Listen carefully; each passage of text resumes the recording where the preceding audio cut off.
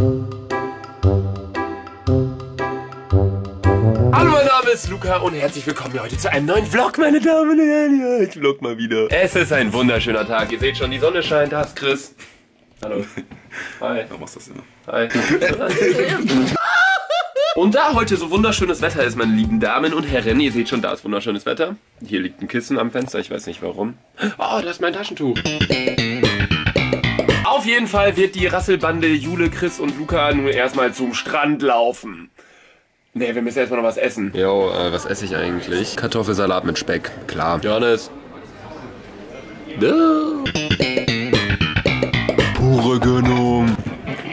Mm. Am Strand angekommen. Uh, hey, Strand, schaut mal Sand. Uh, oh.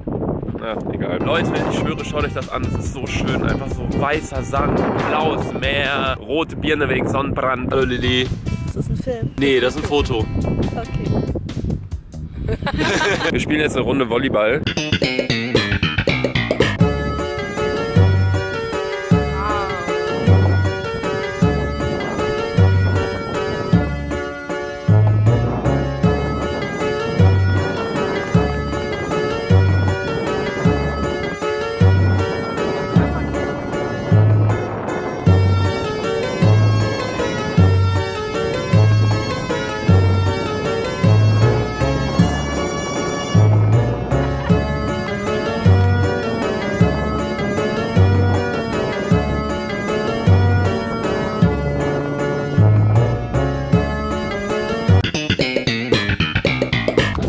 sagen wollte, wir suchen uns lustige Jodel raus. Das ist so eine App wie 9gag. Nur auf Deutsch, ne? Ja, wo so Studenten irgendwie lustige Sprüche irgendwie hochladen und da suchen wir uns ein paar lustige raus und darauf reagieren wir gleich. Aber jetzt gehen wir erstmal was essen.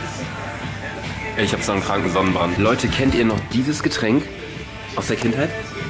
Kennt ihr das überhaupt? Jule kannte das einfach nicht. Aber Durstlöscher. Beste. Kein Placement. Pure Gönnung mal wieder. Zurück zu Hause angekommen, wir haben geduscht. Ach du Scheiße, hab ich einen heftigen Sonnenbrand. Und meine Augen sind auch mal so heftig rot, wenn ich im Salzwasser war. But who cares? Ich bin gesund.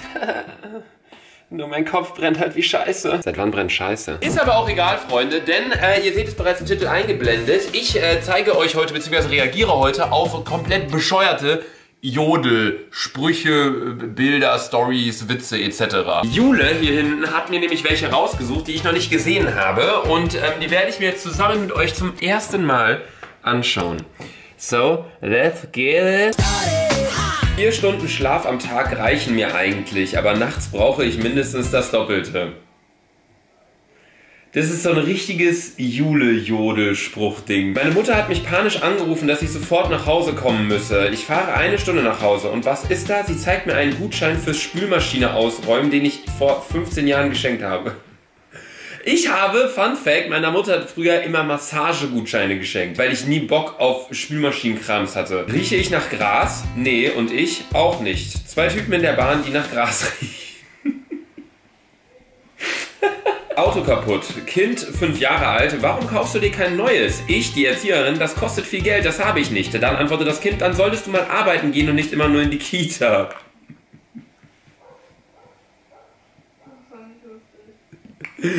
Jule liegt da hinten und schmunzelt so die ganze Zeit. Es tut mir übrigens echt leid, dass ich hier aussehe wie so eine Tomate, aber ich bin einfach eine Tomate. Und Tomaten sind lecker, also no hate. Ich habe gerade bei Instagram ein Selfie gepostet und jetzt habe ich vier Follower weniger. Okay, Leute, die Botschaft ist angekommen. An der Stelle Shoutout Carola, schöne Grüße an dich. Ich glaube, der war von dir. Frau steigt mit 2 Meter Gardinenstange in den Bus. Manni, ist das jetzt ein neuer verrückter Trend, dass man sich seine eigene Stange zum Festhalten mitbringt? Kenne ich nicht, weil ich wirklich nie Bus fahre. Real Talk, es gibt entweder die Leute, die mal Bus fahren oder die Leute, die mal Bahn fahren. Und ich war immer der, der eigentlich immer Bahn gefahren ist. Auch in Köln so. Wir haben ja so ein S- und U-Bahn-System, was eigentlich echt recht gut ist, wo du wirklich alle zwei Minuten irgendwo hältst, aber ich bin nie Bus gefahren. Weil da hast du immer Stau. Seid ihr eher Bus oder Bahn? Schreibt's in die Kommentare. Wenn Oma dir Geld einsteckt, als wenn es Koks wäre. Nicht alles auf einmal und behalte es für dich. Wenn du mehr brauchst, sag Bescheid. Es ist wirklich jedes Mal so. Der Unterschied zwischen Männern und Frauen. Wenn eine Frau sagt, riech mal, dann riecht es meistens gut.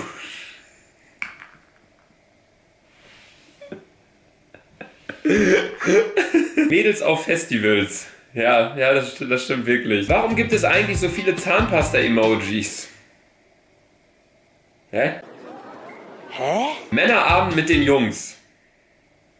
Ha, ha. Da musstest du an mich denken, das ist ja sehr lustig. Mutter mit Kind bezahlt den Sprit. Die Kassiererin gibt dem kleinen Mädchen einen Lolli. Die Mutter sagt, und hast du nicht vergessen, was zu sagen? Das Mädchen stimmt. Noch ein Lolli für meinen Bruder, bitte. Wird meine Schwester nie für mich tun. Habe gestern einen kleinen Freund, Grundschüler, erste Klasse, spaßeshalber gefragt, warum er wie ich keine Freundin hat. Es liegt nicht an uns, der Markt ist schlecht. Ja? Ich äh, äh, bin in einer Beziehung. Habe am Samstag ein Mädchen kennengelernt. Sie meinte, sie ruft mich direkt nach der Arbeit an. Die Arme arbeitet jetzt schon 72 Stunden. ja, ein Herz für, für die Frau aus, keine Ahnung, aber äh, ein Herz für dich. Wenn dein eineiiger Zwilling eine Schönheitsoperation machen lässt, fällt es schwer, das nicht persönlich zu nehmen. Der Grund, warum die Mannschaft verloren hat. Laut Werbung frühstücken die Spieler Nutella und Nutella hat seit der letzten WM die Rezeptur geändert. Es ist aber wirklich so, also ich finde es echt komisch, dass eigentlich eine Sporttruppe Werbung für Nutella macht. Dieser Moment, wenn die Kassiererin bei Penny die Toblerone vom Laufband nimmt und in die Schiene für die Trennschilder feuert. Ey, sieht aber echt genau so aus. Lifehack, mit der Freundin Streit anfangen, um auf dem Sofa im Keller schlafen zu können. Ich habe dich auch letztens verlassen und bin nach unten gegangen zum Schlafen. Mit der Familie Billard spielen gewesen. Kleiner Bruder, was wollt ihr trinken? Ich ein Bier. Freundin Dito. Fünf Minuten später, Bruder, hier dein Bier. Dito haben sie nicht. Ey, das sind so richtig Kleinkinder, die dann solche Sachen nicht verstehen. Ich habe auch beige früher immer wirklich B-E-S-C-H geschrieben. Und früher heißt bis vor zwei Jahren circa. Ich winke manchmal Leuten aus dem fahrenden Auto zu, damit die sich freuen oder den ganzen Tag fragen, wer war das? Das könnte auch richtig Jule sein, aber Jule guckt die Leute immer verrückt oder böse an. Und Jule meint dann, dass es bei ihr Adrenalin auslöst, weil wenn man dann im Stau böse, äh, Leute böse anguckt und die dann nochmal an einem vorbeifahren, dann, äh, ne? Und ich werde dann immer in, beim, äh, beim äh, Reißverschlussverfahren nicht reingelassen, weil Jule die Leute böse angeguckt hat. Gestern ein Doppeldate mit meinem Kollegen und seiner neuen ersten Freundin gehabt. Seine Freundin, ich nehme die halbe Portion, ich muss ein bisschen abnehmen. Kollege höchstens drei Kilo. Oder ist aber böse. Das solltest du nicht sagen. Allerdings war das auch der letzte Jodel. Äh, Jule hat hier 18, 19 Stück rausgesucht. Ähm, wenn ihr die Leute, die Jodel lustig fandet, dann lasst ein Like da. Falls ihr die nicht lustig fandet, dann schreibt in die Kommentare, was ihr überhaupt lustig findet. Findet ihr überhaupt was lustig oder habt ihr gar nichts zu lachen im Leben? Spaß, Freunde. Es ist tatsächlich gerade 21.30 Uhr und wir müssen schauen, ob wir auf dieser Drecksinsel jetzt noch irgendwo was zu essen bekommen. Denn alle Restaurants schließen irgendwie um 9. Beziehungsweise die Küche macht dazu. Warum hängen ja eigentlich Affen? In der Luft. WTF, Mama. Ich habe mich auch bei meiner Mutter letztens gefragt, Alter, ich komme hier hoch und ich sehe dieses Buch. Sag beim Abschied leise Blödmann. Mama, warum liest du sowas? Und warum sagt bei meinem Abschied Blödmann? Alex, gib mir jetzt erstmal was essen, weil ich hab so Hunger. Jule, das machst du sehr, sehr gut. Jule und ich sind so übel süchtig nach diesem Spiel. Ich weiß nicht, wie es heißt. Es soll jetzt auch keine Werbung dafür sein, aber ich liebe so eine Art von Spielen. Simpel gemacht, aber... Was? Wie Tapas essen mit Julchen. Supi. Wir haben hier Aioli-Dip. Wir werden gleich alle stinken wie Scheiße. Leute, wir haben uns viel zu viel zu essen bestellt. Wir haben noch Nachos, wir haben noch Tortilla, wir haben noch Kartoffelecken. Hier unten stehen noch Rosmarinkartoffeln. Wie sollen wir das alles schaffen? Wir sind wieder zu Hause angekommen vom Abendessen, meine Damen und Herren. Wir haben uns viel zu viel bestellt, aber wir haben es halt einpacken lassen und jetzt haben wir noch eine Menge Rosmarin, Kartoffeln und Kartoffelecken darum liegen. Auf jeden Fall wollte ich noch zwei Sachen ganz kurz sagen eben. Und zwar erstens tut es mir leid, dass ähm, der letzte Vlog gestern kam und nicht vorgestern, aber ich habe es zeitlich nicht geschafft und jetzt sind wir wieder im Zweitagesrhythmus drin. Die zweite Sache, die ich noch sagen wollte, Freunde, als wir jetzt gerade wiedergekommen sind, habe ich halt ein Video gemacht hier vor der Haustür, wo ich das Video geteilt habe, was ihr gestern gesehen habt. Also wie Jule zum ersten Mal Minecraft gespielt hat. Da ist ein Zombie, Jule. Oh, da kommt ein Zombie-Schlag. Sehr gut, Jule, sehr gut. Und nochmal. Und bam. Nein, Jule, schneller. Du musst die ganze Zeit drücken. Genau, wie bei Fortnite. Die ganze Zeit schneller, Jule, schneller, schneller. Der bringt dich um. Auf jeden Fall habe ich in meiner Instagram-Story dann ein Video gepostet, ähm, wie ich halt das Video promoten wollte. Und ähm, folgt mir erstmal auf Instagram. Instagram.com slash laserluca. Ich will gar nicht lange drum rumlabern, Freunde. Schaut euch einfach mal dieses Video an und sagt mir, ob ihr dabei irgendetwas Verdächtiges findet und entdeckt. Auf meinem Kanal ist ein neues Video online. Ich habe es bisher vergessen zu teilen.